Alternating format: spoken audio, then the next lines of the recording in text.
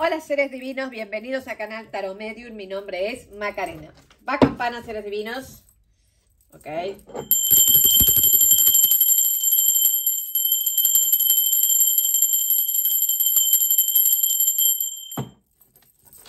Muy bien, vamos a ver qué tenemos hoy para darles de mensaje a través de la espiritualidad, ¿sí?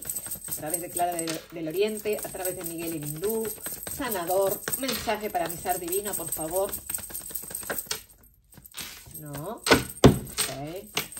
Aprovecho para ir contándoles que en la de, casillita de descripción les dejo, bueno, no está saltando su energía, seres divinos, por eso sigo hablando. Ahora sí. Le estaba diciendo que en la casillita de descripción les dejo eh, todos los datos, ¿sí? Si quieren una lectura más personalizada. Bueno, tu energía comienza con una reina de bastos, la plenitud. Es como que has estado eh, tomando decisiones en cuanto a cosas económicas, en cuanto a situaciones financieras. Has estado eh, activo, ¿sí? Activo o activa dentro de esa área, ¿sí? pensando qué es lo que puedo cambiar, qué eh, puedo hacer mejor en mi trabajo o en un emprendimiento o en algo así. Es un cuatro de oros con una reina de bastos. Habla mucho de tomar decisiones, pero decisiones de liderazgo, ¿sí? De decisiones, sí, aquí lo tienen, decisiones maestras, decisiones que van a cambiar el rumbo del destino de ustedes. No son decisiones cualquiera. Siempre que yo saco estas cartas, este oráculo, ¿sí? Estamos hablando de energías generales de la vida de ustedes, no solamente de algo particular. Un maestro. Clarifícame, por favor, el maestro. El carro, el darse cuenta Qué, bonitas, qué bonitas energías, ¿sí? Eh, si me sale otro arcano mayor, aplaudo. Y ya vamos a empezar a analizar esto, ¿sí? Última energía, por favor. Última energía. Es algo grande que vas a tomar decisiones y vas a avanzar rápido a través de esa decisión. Oh, por favor. Esto no se puede levantar todo así, ¿no? No. Pues no. Como venía diciendo, es algo que tiene que ver con una maestría, con una excelencia, con, una, con un liderazgo, con algo grande, porque es maestro, maestro de los maestros, ¿sí? Y vas a avanzar, bueno, dije que aplaudía, el mundo, chico, vas a avanzar, dije, en algo grande y es algo grande, ¿sí? Avanzas hacia un cambio de vida, un cambio de proyectos, un cambio que es un antes y un después, porque tengo el maestro, tengo el mundo y el avance. Ya voy a investigar qué, qué, qué está pasando. ¡Murci! Murci aquí, queriendo entrar. Voy a investigar ya qué significa... Eh, ¿Cuál es la decisión que ustedes están tomando acá? ¿Sí? Porque es una decisión que, que va a, cambiar el ciclo del destino de ustedes, no de la vida, es del destino, el destino, el del propósito de vida. El maestro se habla de aquello que tiene que ver con tu propósito de vida, ¿sí? Tú estás haciendo cambios que va a avanzar para cerrar un ciclo y comenzar otro nuevo que tenga que ver con algo que va a repercutir en tu vida de manera, de manera, ¿cómo le digo, Murci? El Murci está muy cómodo ahí acostado. De una forma, no es drástica, no, no es drástica, es una forma plena, porque te va a llevar a la plenitud. Clarifícame, por favor, de qué tipo de decisión estamos hablando. Gracias. Opa, nueve de espadas.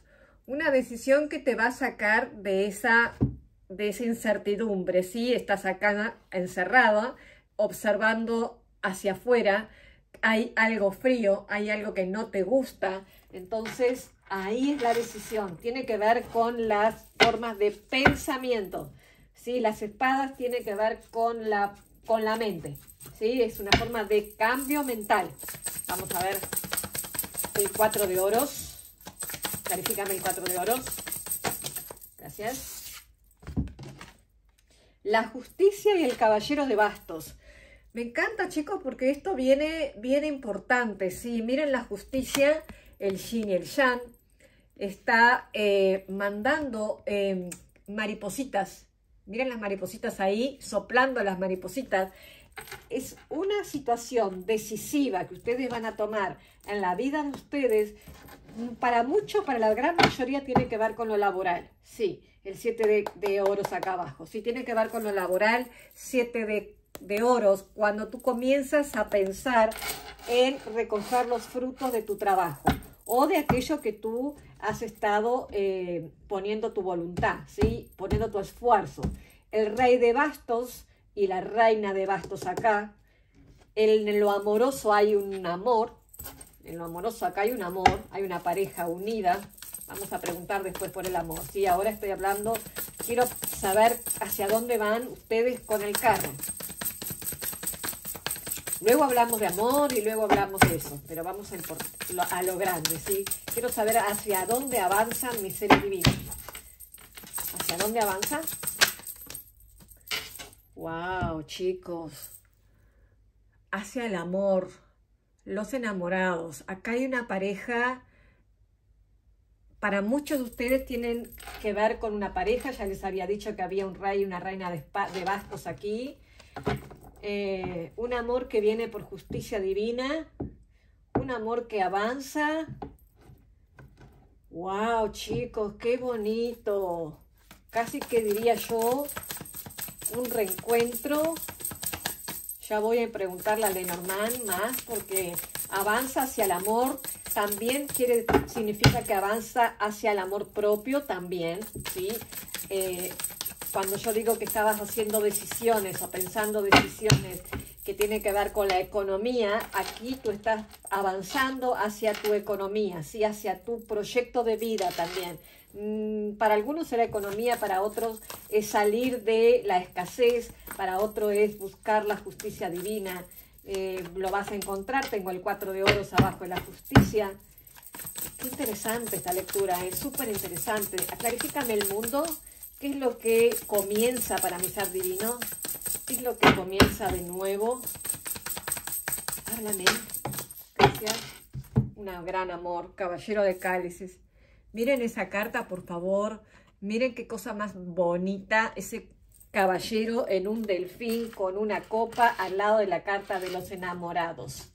Casi que podría decir que aquí para los solteros, para los solteros salen de la de la, tristeza, de la soledad, de esta soledad. Quiero que vean, salen de esta tristeza para entrar en un gran amor. Para aquellos que ya tienen su personita especial, hay un reencuentro muy apasionado que avanza hacia otro nivel la relación romántica. Sí, acá hay un pedido de matrimonio, un pedido de vivir juntos, aquí hay cosas bonitas. Déjenme preguntar al Lenormand, que Lenormand me da detalles. Verifícame, por favor, este amor. Miren qué belleza, chicos. Es un amor estable y lleno de felicidad. Sea cual sea lo que tú estás esperando. Ok, dice Clara que pregunte qué siente tu personita especial. ¿Qué siente este, esta personita especial que tú estás pensando? Que hay una relación estable, que avanza, que viene con una propuesta, ¿Qué siente esta personita? Qué bonita lectura, chicos. ¿Qué siente? Cinco de espadas y la templanza.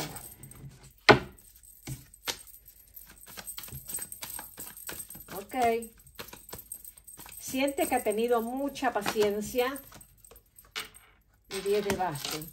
Siente que ha tenido mucha paciencia, que ha hecho mucho esfuerzo, quizás seas tú o él o él o ella, ¿sí? Puede ser una lectura espejo, que han hecho mucho esfuerzo por mantener ese amor o por eh, sortear las dificultades de esa pasión, ¿sí? Han tenido mucha templanza, mucha paciencia, mucho eh, aguante, ¿sí? Y que ya es hora de tomar decisiones. bueno me ahogué con él, con esto. Ya es hora de tomar decisiones por sí o por no, porque este cinco de espadas me muestra, quiero que ustedes vean, que hay dos personas que están poniendo límites. Sí, hay una espada en el medio, a ver si se ve, ahí está. Sí, hay una espada, sí, están poniendo límites, como diciendo, hasta aquí fui, hasta aquí voy, y bueno, quiero que estas cosas cambien. Es un, veo una pareja que apasionadamente comienza algo nuevo, pero sí deben marcar los límites de la paciencia. los límites de la paciencia. Pues sí, nunca había dicho eso. Para el amor, bien, gracias. Dos situaciones adversas, ustedes entenderán.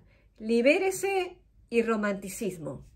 Es hora de retomar el control de tu vida, y después te dice, sus sentimientos son auténticos y dignos de ser vividos. Aquí hay una persona que te quiere mucho, ¿sí? Pero como yo te dije antes, está necesitado, necesitada tú o él, o él o ella, de dejar atrás los obstáculos de este libérese, ¿sí? De esta situación fría, de esta situación que no había diálogo, de este nueve de espadas, que las cosas no estaban resultando, para que vuelva ese romanticismo. Voy a sacar una energía para las finanzas. Una energía, dos energías para las finanzas. Muy bien. El juicio para las finanzas, porque desde el principio les dije que acá había una decisión que tienen que tomar desde las finanzas. Ustedes van a tener un reencuentro con alguien o un encuentro para algunos, ¿sí? O están, están, están planificando un encuentro. Ven acá como ustedes están observando y esperando. Ustedes están esperando a alguien, tres de bastos. Que alguien tome un movimiento, que alguien tome una decisión para poder avanzar en la parte financiera. Yo les digo que si ustedes están en esas circunstancias de espera de alguien, eh, o de algo, porque es un reencuentro importante en las finanzas, ¿sí? Alguien que puede ser un maestro, alguien que le da estabilidad o algo así. Eh, eso ya no, no, tarda en llegar, ¿sí? Porque tengo el avance, tengo el carro y tengo el mundo. O sea, no tarda, sea lo que sea que estás esperando, eh, que regrese o que vuelva o que algo así, que tenga que ver con las finanzas o con tu familia o con algo así, eso no tarda, llega rápido. Un consejo, por favor, para mis seres divinos. Gracias. Voy a agarrar solo una, chicos, porque no da. Esta carta me sale mucho. De todas estas me sale mucho. Dice, depura tus relaciones. Wow. Tu flujo de abundancia se ve afectado por la gente con la que pasas tiempo de modo que debes seleccionar tus alianzas y tus amistades con buen criterio. Elige estar con personas inspiradoras, generosas y solidarias. Ahí tienes, ser divino, captura de pantalla porque tú sabrás de qué es lo que te tienes que liberar, tú sabrás de qué es que estás tan triste en esta energía, ¿sí? de esta persona que ve todo negro y oscuro, pero al mismo tiempo es como que forma parte de tu destino, ¿sí? Como que no lo puedes evitar. Hay cosas que no se pueden evitar porque hay que vivirlas, ¿sí? Pero pronto tú vas a tener esa decisión que vas a tener que tomarla, ya sea de amor o en las finanzas, que te va a llevar a una vida más romántica, a la estabilidad y a un comienzo de una nueva vida.